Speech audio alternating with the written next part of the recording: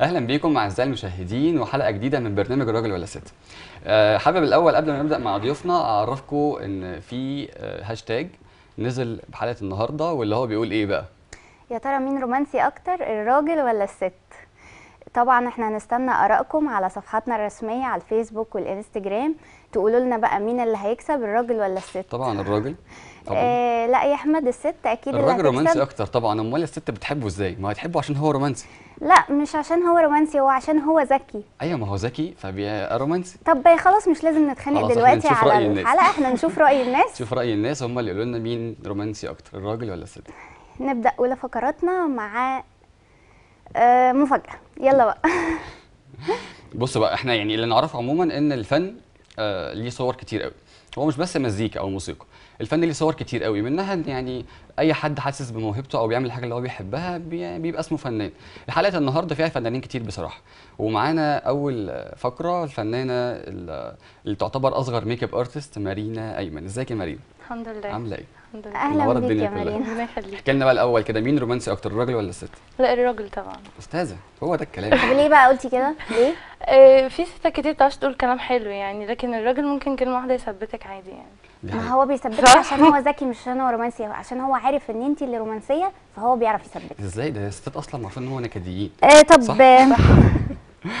طب ما علينا من السؤال ده السؤال ده كفاية كفاية. قولي لي بقى احكي لي يا مارينا بدأتي إزاي؟ وإيه حكاية ميك اب أصغر makeup artist دي؟ عندك كام سنة؟ عرفينا بنفسك. آه، أنا مارينا أيمن عندي 17 سنة. آه، أنا بدأت من تالتة إعدادي كده. كنت.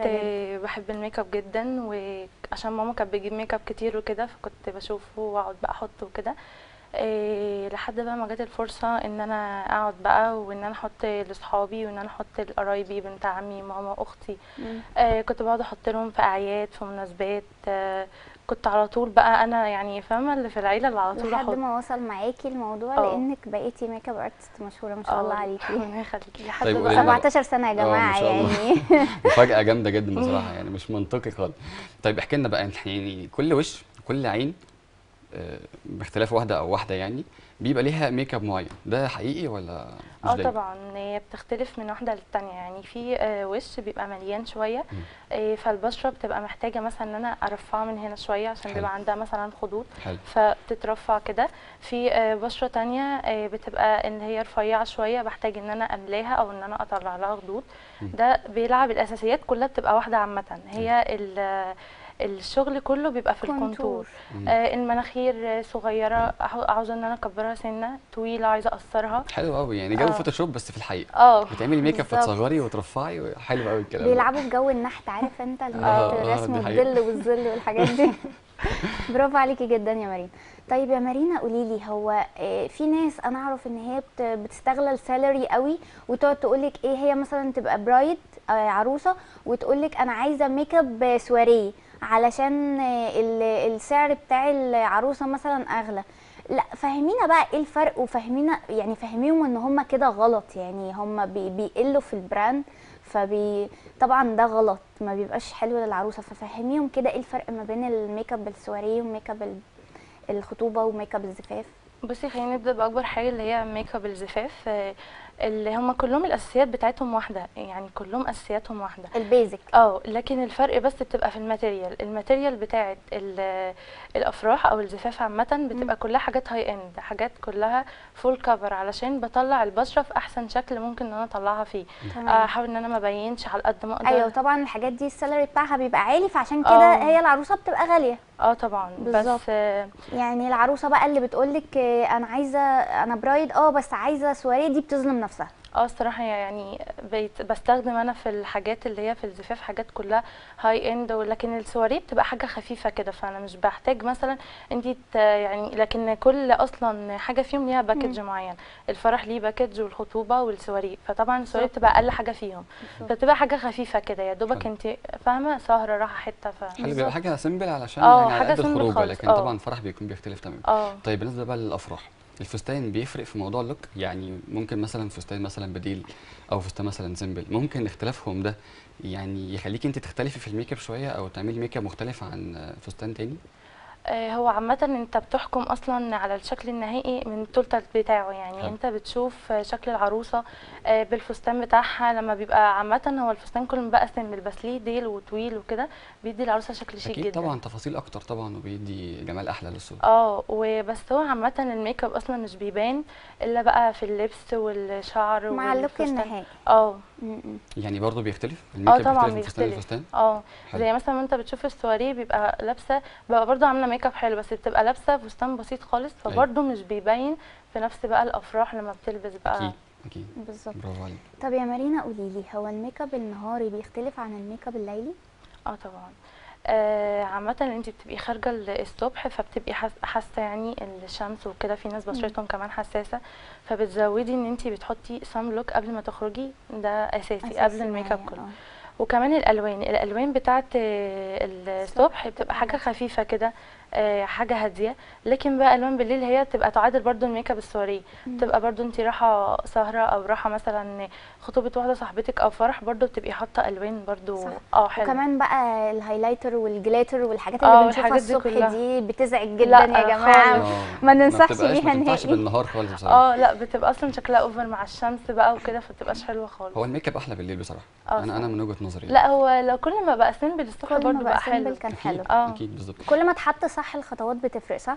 آه طبعا. يعني كل ما تحط كل حاجة مظبوطة في مكانها كل حاجة الخطوات واستنيت على البشره إنها تهدى شوية وبعدين اتنقلت الخطوة اللي بعدها. مم. البشره طبعا شكلها بيفرق جدا. طيب حلو جدا. إحنا بقى بنشوف على ال social media مثلا وصفات make up وناس بتطلع تعمل make up مثلا في videos أو كده.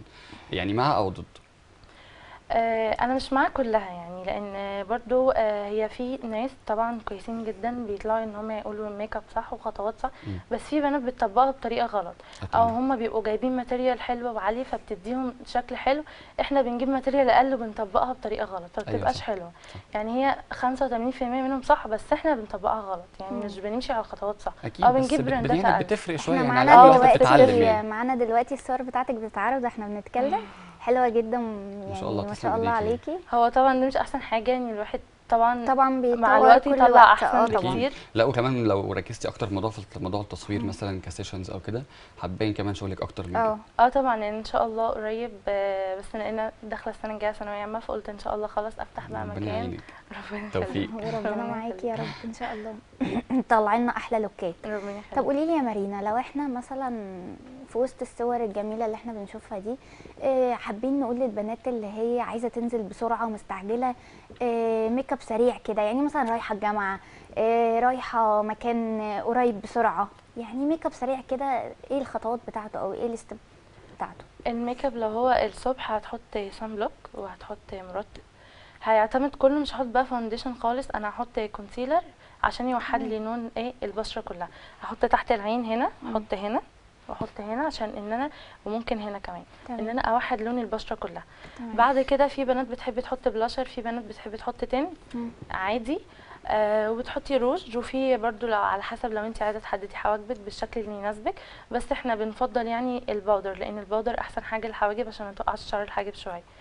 لأن القلم والجل بيوقعوا الحواجب فده أسرع look ممكن تعملها هتحطي. ال concealer وال tint. وهتحدد حواجب لو حابه بقى إنها تحط كحل وروج ده بيبقى أسرع look ممكن تعمله طيب انت مثلا لو جاتلك مثلا عروسة وهي عايزة لون معين أو look معين وانت شايفة إن ال look ده مش هيليق عليها إزاي تقنعيها إن ال look اللي انت شايفاه هو الأحسن هو أنا لو جات لي أي حد سواريه أو خطوبة أو فرح بقول لها الأول بسألها قبل ما أبتدي خالص انت الألوان اللي بتحبيها؟ إيه هتقولي مثلا بميل للأزرقات في بنات بتميل للبنيات في للأحمرات كده فطبعا بحاول إن أنا على قد ما أقدر إن أنا أظبط. يعني مثلا تقولي بميل للأحمرات آه. هظبط لها برده بس على الطريقة اللي تناسب مش هحط لها أحمر over مش أحمر over آه هحط لها حاجة. بسيطة آه مم. لأن طبعا كل حاجة ليها درجات كتير. أكيد أكيد. فأنا بحاول أظبط لها برضو يعني برضو لو ما عجبهاش اللون ببتدي اغمق أفتح ف بس انت فاهمة يعني انت بتتكلمي آه. إنك فاهمة فانت يعني بتتصرفي على حسب آه الاصح بالنسبة لك. لها بقى أنا حلو جدا برافو عليك. طيب في آخر فقرتنا يا مارينا بقى تقولي لنا البنات تنصحيهم يهتموا ببشرتهم إزاي؟ عشان ده طبعا بيفرق جدا في ال make up أنا عارفة. قولي لنا يعني خطوات كده سريعة البنات تفضل تعملها وتهتم بيها عشان ال make up يطلع أحسن حاجة. هي عامة كل ما البشرة بقت حلوة ما فيهاش حبوب أو كده طبعا انت عارفة أكيد هيفرق في شكل ال make up جدا. طبعا أكيد. فهي أحسن يعني أو أسرع حاجة ممكن تعملها برضو هيبقى عندها روتين يومي هيبقى عندها غسول و toner وكل ده طبعا على حسب نوع بشرتك وال sun block طبعا؟ آه وال sun block طبعا هتنزل الصبح. آه والمرطب وال toner. ده اللي هتستخدمه وفي كريم بقى لو بتستخدم مضاد حيوي للحبوب لو هتستخدم حاجة ده هتبقى روتينها اللي بيبقى إيه يومي. كل يوم. آه. لو بتعوز بقى إنها تعمل تنظيف بقى بشرة عميق وكده بتروح بقى ال- آه بتروح بقى مثلا لصيدلية أو الناس اللي هم بيبقوا فاتحين عيادات والكلام ده التنظيف يعني. آه. لا إما لو عايزة بتعمل بقى في ال- في مم. الشهر مثلا أو في الأسبوع في الأسبوع ده بيبقى يعتمد مثلا إن هي ممكن تعمل سكراب في مم. الأسبوع. آه، على حسب برضو نوع بشرتها. كل نوع بشره طبعا ليه سكراب في بنات. برضو بتحب تعمله في البيت. في بنات بتحب تجيبه بس أنا بفضل اللي هو الحاجات الطبية أكتر يعني بتجيب. نتيجة. هو فن. هو فن هو فن فعلا. نورتينا يا مارينا ودايما كده في نجاح. بجد والله نورت البرنامج. ربنا يخليك. إحنا فاصل وهنرجع تاني. استنونا وهتروحوا في أي حتة.